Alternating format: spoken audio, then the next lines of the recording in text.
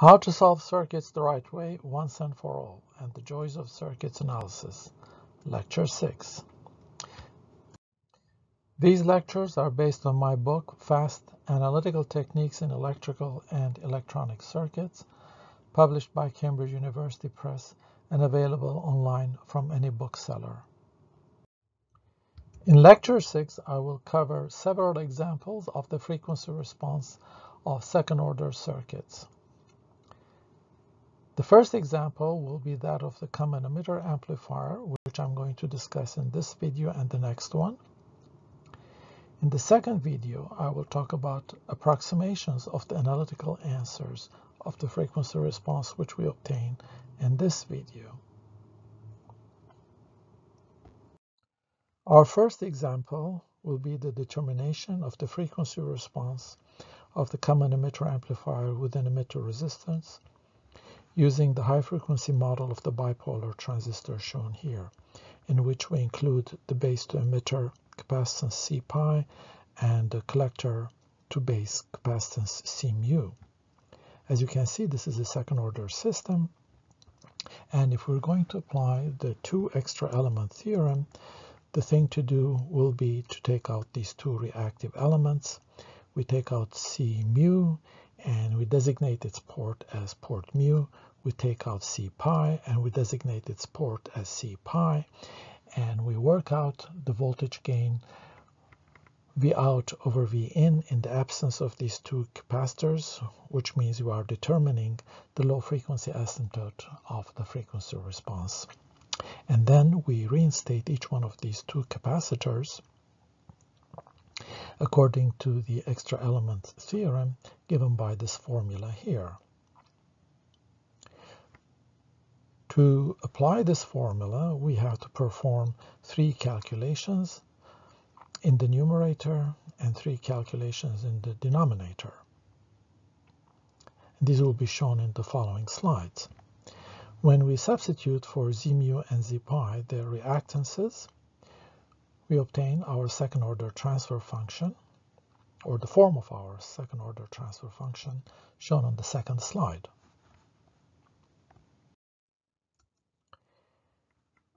So the numerator is generally a second order transfer function like this, and the denominator is a second order transfer function as shown. And as I said, we're going to determine each one of these null impedances and ordinary impedances looking into port mu and port pi.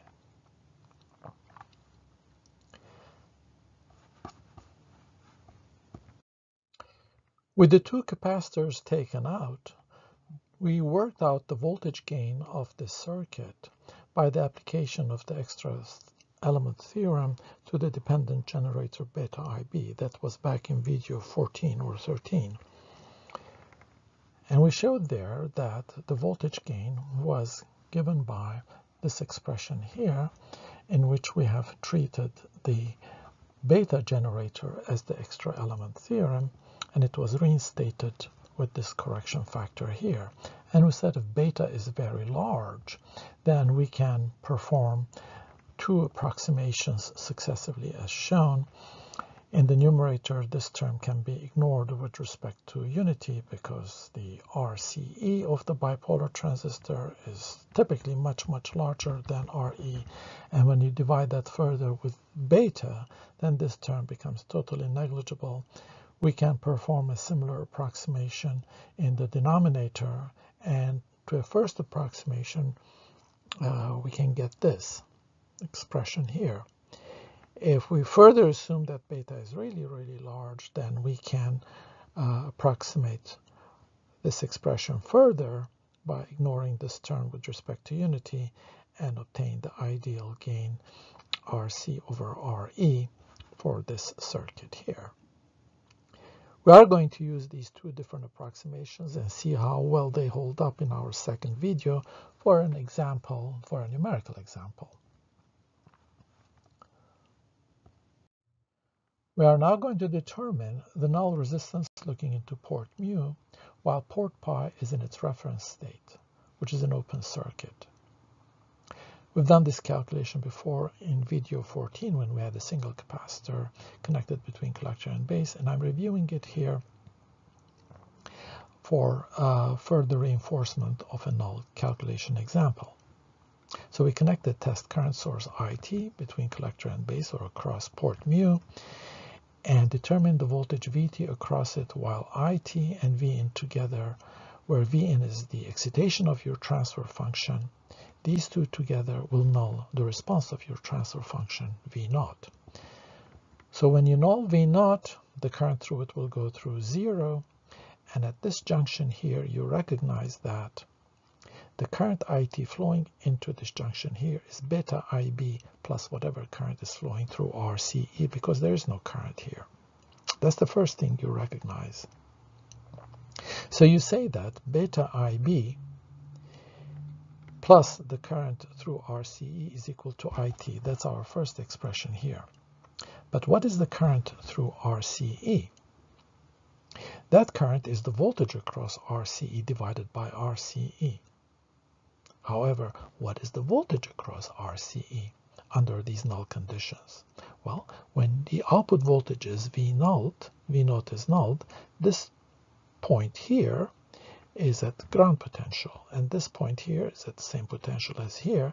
So the voltage across RCE under these null conditions is the same as the voltage across RE then the question is what is the voltage across RE under these null conditions? Well if you look at the circle here the current entering it is IT there's zero current coming in here. So the current coming out of it here must be IT so the current through RE is IT plus IB. And therefore the voltage across RE is IT plus IB times RE. And when that is divided with RCE, you get the current through RCE.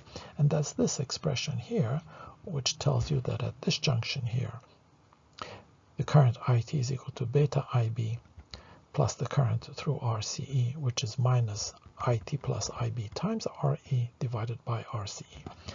So that's your first equation, which gives IB over IT. The second one is the fact that you've nulled the output voltage V naught. So this point here is at ground potential, and this point here is at the same potential as here. So the voltage between this point and this point here which is the sum of the voltages across R pi and Rp, is equal to minus Vt. And when you write that down, you get this expression here. And you can solve from it Vt over It as Ib over It into R pi, R pi plus Re plus Re. And when you substitute Ib over It in here, you get the following expression for script RMU. You have solved for it from these two equations under null conditions, but the expression as such is in meaningless form because the numerator involves product of resistances which in, which have no physical interpretation.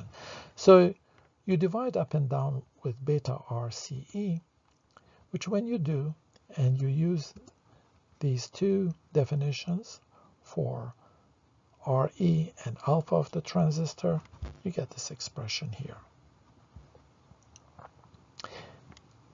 And then we say if beta is large, then this expression here will reduce to approximately minus Re. Again, you see this is much larger than 1. And in the numerator as well, the ratio of RCE to RE is very large. So RE to RC is very tiny, and that can be ignored and Re with respect to emitter resistor is also small and alpha is nearly 1, you can approximate this as minus Re. We'll find out how good these approximations are again when in our second video we'll do a numerical example and we can compare these two expressions, the exact and the approximate, to see if this approximation is justified. Next, we determine the null resistance looking into port pi with port mu in its reference state, which is an open circuit. And this is shown in this diagram here. Once again, we connect the test current source IT and determine the voltage VT across it, while IT and Vin together will null V naught. When V naught is nulled, the output current is nulled. And beta IB will flow entirely through RC and circulate through it.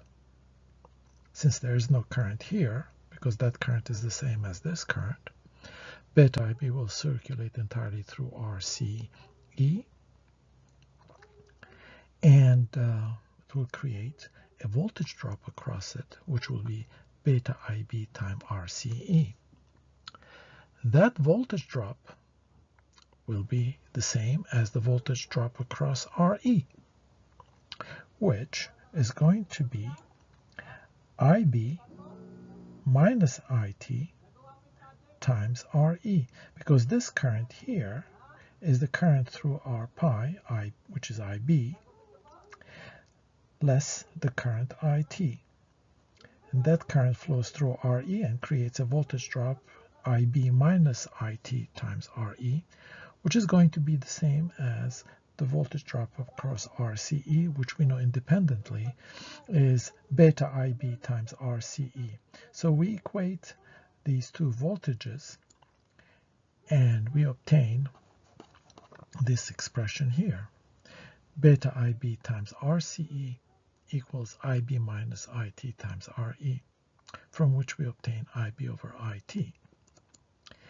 And since VT itself is IB times R pi, then we can solve these two together and obtain VT over IT, the null impedance looking into port pi, while port mu is an open circuit.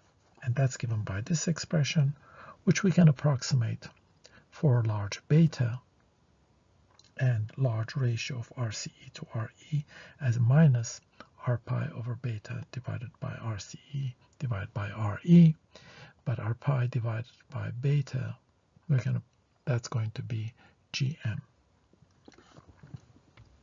So we have our second null calculation R pi, and we have to perform one more additional calculation, which is shown on the next slide. We are going to calculate the null impedance looking into port pi, while port mu is in its opposite state of its reference state. Its reference state was an open circuit, and now we're going to short it. And this calculation is for the second order term as a square term. So when we short our mu, again while IT and V in are nulling the response V naught, we see that V pi appears directly across GM V pi so that the current that's flowing here is nothing more than GMVT because V pi and VT become coincident. And current that's flowing through RCE is VT divided by RCE. And the current that's flowing through R pi is VT divided by R pi. So this current plus this current plus this current plus the current entering from the emitter resistor should equal to IT, which is what we write down here. IT is VT over R pi, that's this current here, plus VT over RCE, which is this current here, plus this current, which is GMVT, plus this current coming in, from the emitter. However, what is the voltage across RE? When you null the response V naught, you realize this point here, which is the same as that point there through the short circuit, that point there all the way down is at ground potential. And this point is the same as that point. So you see that VT appears across RE with this polarity, and it generates a current through it, Vt divided by Re. When we add the three together, we get IT over VT, which gives us the null impedance looking into port pi with port mu in its opposite state of its reference state. Now, we recognize that r pi in parallel with 1 over gm can be written like this, which is r pi over 1 plus beta equal to re. So this expression simplifies further to Re in parallel with RCE in parallel with the resistor, emitter resistor Re. Now before moving on to the port resistances of the denominator, I would like to see if R mu pi is a simpler expression than R pi mu, which we just calculated. Because if it is, then I would rather use the product R pi R mu pi instead of R mu R pi mu for the second order term in the 2EET. So I'm going to find this out using the circuit diagram here where I look into port mu with port pi shorted, which when I short will set V pi equal to zero and this dependent current source will drop out of the picture. And when that happens, we see that VT appears directly across RCE, and the test current IT will entirely flow through RCE because there will be no current in this branch. This is a null impedance calculation where IT and V in have null the response V naught, so there is no current here. So there you have it. R mu pi turns out to be nothing more than RCE, and indeed it is a simpler expression than R pi mu. So I'm going to use this second form here instead of this one that I had originally written down for my second order term in the 2EET. And now we will determine the port impedances for the denominator whereby we set the excitation equal to zero, which in this case is the input voltage V in, as shown here.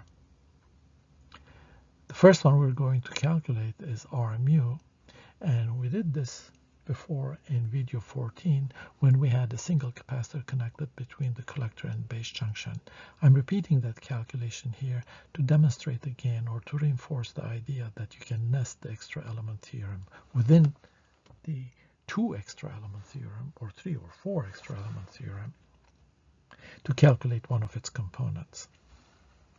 So we're going to treat the beta generator as the extra element and consider its value to be infinite so that the extra element theorem applied to R mu looks like this. It is the impedance looking into port mu with beta infinity, followed by a correction factor given by the extra element theorem, whereby the beta generator gets reinstated in the following form here, appearing in the little denominator in the numerator and in the little denominator in the big denominator here. It is accompanied by the null inverse gain with respect to beta and the ordinary inverse gain with respect to beta.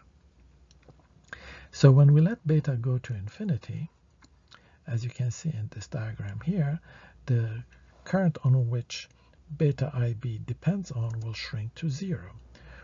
And when that happens, the test current IT will flow entirely through RS because there's no current flowing here and it will create a voltage drop across RS which is IT times RS and since the voltage drop across R pi is zero Notice there's no current here, so there's no voltage drop across R pi, so this junction and this junction are at the same potential, and ITRS appears entirely across the emitter resistance RE, and it creates a voltage drop across it, IT times RS, and it starts a current through it, which is ITRS divided by RE.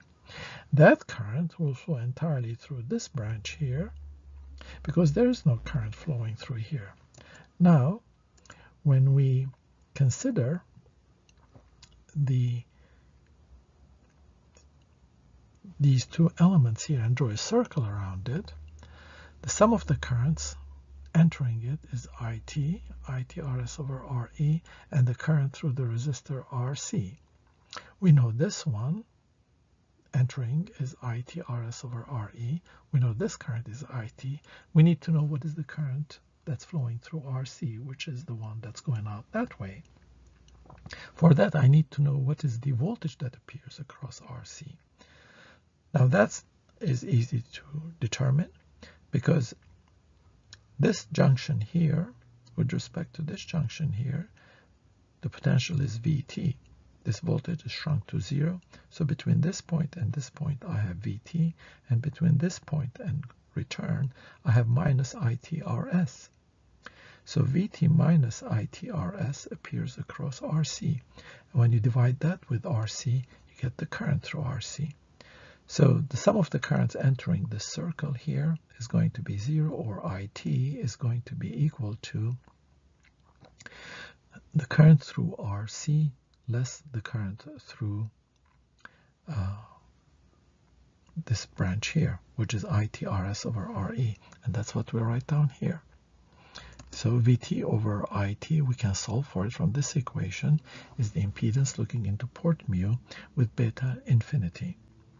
Next, we have to perform two calculations, the null inverse gain with respect to beta and the ordinary inverse gain with respect to gate beta.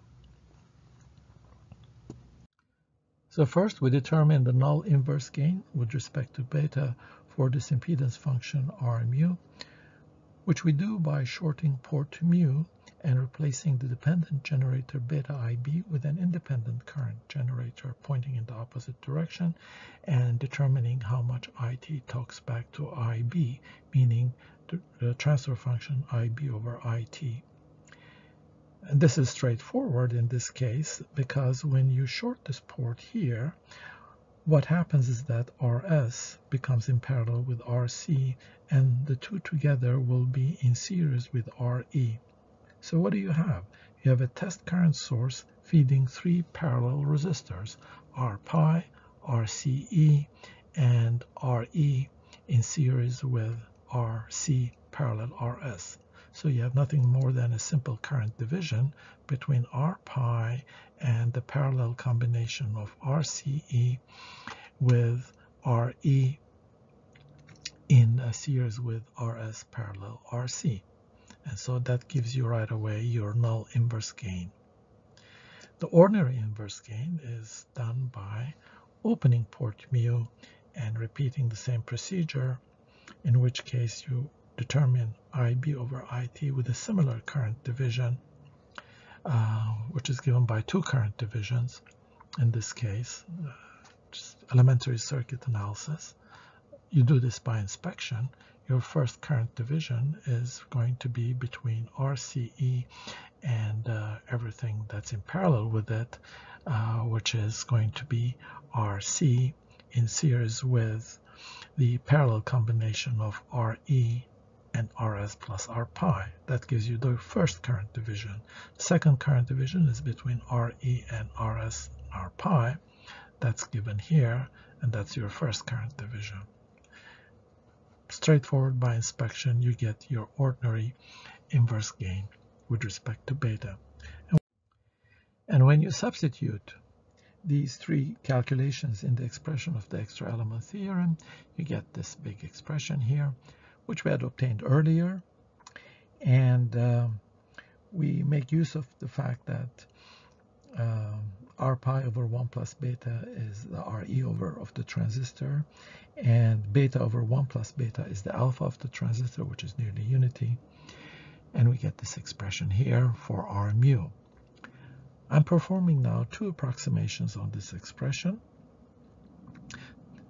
First one, and a more cruder approximation which really assumes beta is infinite, which is this term here. Later on, in the next video, when we do a numerical example, we'll validate these approximations and see which one suits us best. Next, we determine the ordinary impedance looking into port pi with port mu in its reference state, which is an open circuit. That's shown in this circuit here, which is a relatively simple circuit for which you could write a couple of equations and figure out R pi. But who wants to do that? I'm just going to take the beta IB generator as my extra element, set it equal to zero, determine what R pi is, and then reinstate beta with two additional calculations, a null inverse gain and an ordinary inverse gain. And so when I set beta equal to zero, that's nice, the whole generator drops out, and I can right away determine what my R pi is. And I see that with this generator having dropped out, I get my RCE in series with RC, that combination appearing in parallel with RE, and that parallel combination appearing in series with RS. So it's going to be nothing more than R pi in parallel with the uh, parallel combination of RE and RCE plus RC in series with RS. Straightforward, just looking at the circuit diagram, you can write it. Now you have to perform two additional calculations, the null inverse gain and the ordinary inverse gain, which we'll show in the next video. And here is the null inverse gain. Man, that's easy. You replace the beta generator with an independent generator pointing in the opposite direction and you short port pi. And the gain IB to IT is going to be zero because R pi is shorted. So that's your null inverse gain. That's easy. And ordinary inverse gain is again another simple circuit with a bunch of resistors, two current divisions. You want to determine now the IB to IT with port pi open. And that is given by two current divisions uh, as shown here. You can verify that very easily. It's a ladder network and an easy calculation. So we substitute these in the extra element theorem. And now we substitute those three independent calculations for the r pi in the extra element theorem, and we obtain this expression here.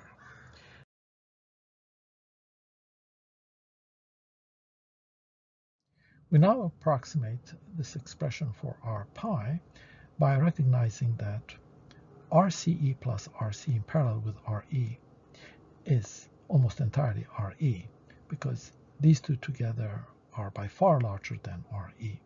Also, and this series combination here, uh, this parallel combination is less than RE, and that added to RC is typically almost all the time RC.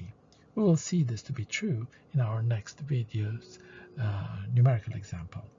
So this is a very good approximation of R pi right here. And finally, we determine R pi mu resistance looking into port pi with port mu and its opposite state with respect to its reference state. And its reference state was open, so we're going to short that.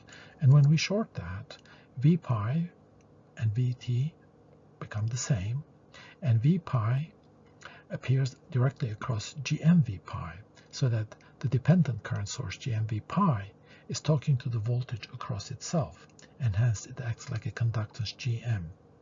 So we have R pi in parallel with 1 over Gm, which when we expand, R pi in parallel with 1 over Gm becomes R pi over 1 plus Gm R pi, which is R pi over 1 plus beta equals to Re.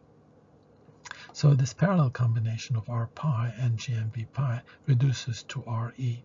So looking into port pi, I have little Re in parallel with RCE in parallel with whatever comes after it. And what comes after it is RC in parallel with RS. This node here and that node are short, and that's short to this, so RS is in parallel with RC, and the two together are in series with RE. So you have RE in parallel with RCE in parallel with the emitter resistance RE plus RS parallel RC. And we write that down. And we're done. But just out of curiosity, I want to see what R mu pi looks like. After all, we're good at analytical techniques and we can do them fast. So we have time to try that one out and see maybe that's going to be simpler. We don't know, but we'll try it. So we're going to look into port mu and with port pi shorted this time, which when you do, v pi becomes equal to zero, and right away this current source drops out. And we can see that this is going to be simpler. Let's take these other calculations out. So looking into port mu with pi shorted, we have this circuit here. And what do we have now? We have RCE in parallel with RC in series with RE in parallel with RS. Yeah, it's simpler than this one. Also, this simplifies quickly in that RS parallel RE, which is less than RE, added to RC is almost RC. So this simplifies to an excellent approximation as RCE parallel RC. So I'm going to use the second uh, form of the product, R pi, R mu pi, for my second order term, as opposed to R mu, R pi mu. And now we're going to perform our substitutions for all the calculations we've done so far to write the analytical expression for the voltage gain transfer function. AV0 is what we had calculated earlier with this exact analytical expression and two successive approximations. For A1, we have C mu script R mu plus C pi script R pi. This is the exact expression, and this is an analytical approximation for it. Two approximations. And we're going to evaluate these approximations in our next video with the SPICE simulation, LT SPICE simulation. And for A2, as I said, I reversed the order. I used script R pi times R mu R pi as opposed to R mu R pi mu. And I got this expression for my A2 and two successive approximations.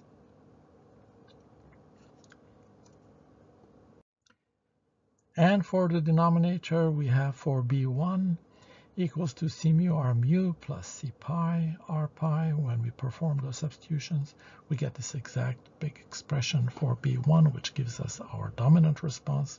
And this expression approximates to this expression here. And for B2, we have C pi C mu and the product R pi R mu pi, which results in this exact expression here, which approximates as follows.